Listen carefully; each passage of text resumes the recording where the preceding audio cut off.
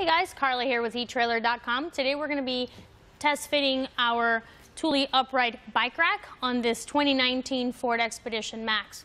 So this bike rack is going to offer a solution for those of you who have a really nice bike. Uh, you don't want any frame contact. As you can see, this bike rack is held on by the tires and uh, as well as if you're already using your hitch for something else like pulling a camper or you've got a cargo carrier or something else over there you want to free up your hitch, this is going to offer a solution to get your bike up there.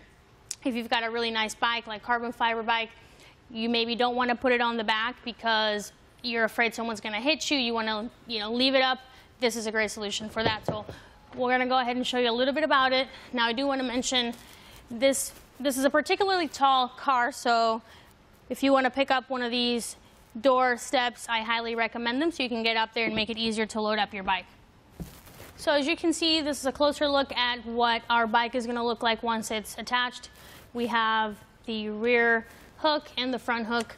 This is no tools required to uh, install this on your car or use it. So it's it's great that everything is built in, the self-ratcheting and uh, all the mechanisms that are built in.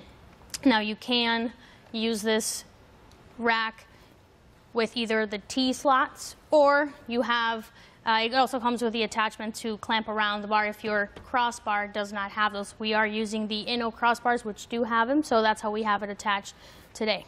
There are also attachments that you can use where you could wrap around the whole bar. So if you don't, if your bars don't have a T-track, then um, you can pretty much use them on any kind of bar with the other attachment.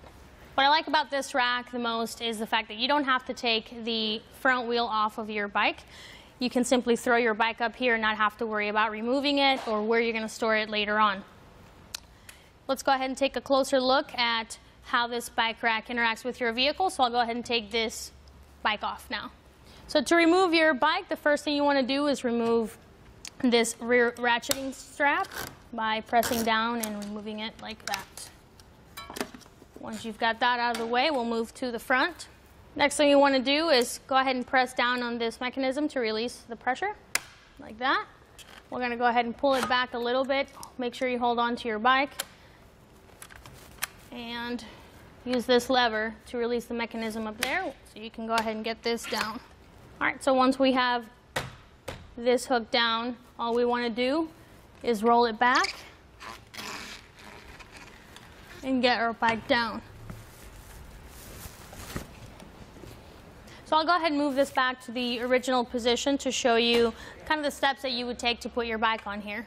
The nice thing about this rack is that Thule has labeled each one of these so you really can't go wrong. It tells you which one to do first. So before we get our bike on here, when you are, uh, before you throw it up here, what you want to do is adjust this hook to your wheel diameter. Now it's going to be labeled right in here for to make it a lot easier for you. So if you've got a 29 inch wheel, then you'll go ahead and select that.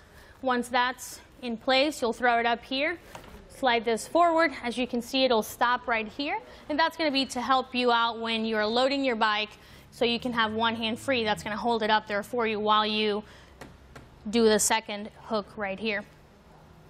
This one's labeled number two. And as it say, it says right here, raise second to secure wheel. So you'll raise it up. And what you want to do is make sure that there's a mechanism right here that's going to catch and click into place, just like that. That's when you know that it's secured.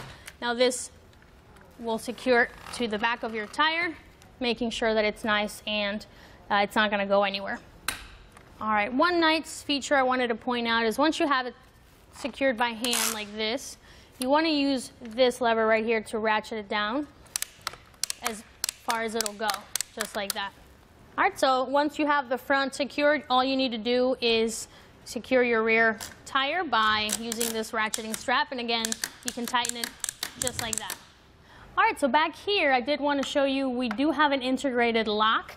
Um, you can use the Thule locks so that you can key them alike to any other Thule accessories you have.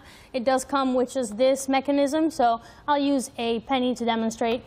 I'll unlock it, and then that whole thing comes out and you can use it to lock around your bike frame and lock it into itself right here. Turn this key and now we have it locked.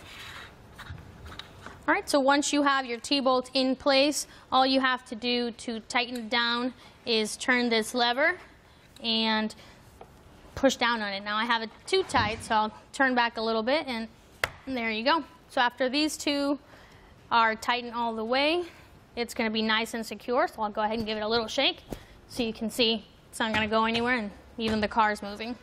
So on our Expedition, we have plenty of room along the rail. Right now, we have it set right at about 40 and a half inches. So I'll show you a couple more measurements. Uh, to get this down in the folded position, you're gonna wanna release the tension with this lever. That'll allow this to go down. We'll fold this one down and all the way back. So you're probably wondering, how much is this going to add? Can I drive this into my garage with it on? That's a nice thing about these uh, roof mounted, this roof mounted bike rack is the fact that you don't really have a lot of length added to your car. You can leave it on here if you don't have your bike on here. It's not very heavy. It's definitely between 15 and 20 pounds, so a very lightweight as well. From the top of your crossbar to the highest point on our rack, that's going to be adding approximately four and a quarter inches, so not very much at all. Uh, but with that said, that should be everything you need to know about the Thule UpRide bike rack on our 2019 Ford Expedition Max.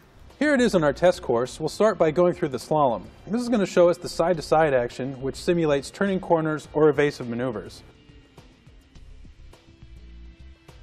Next, we're at the alternating speed bumps, which we'll see the twisting action. This will simulate hitting a curb or pothole or driving over uneven pavement.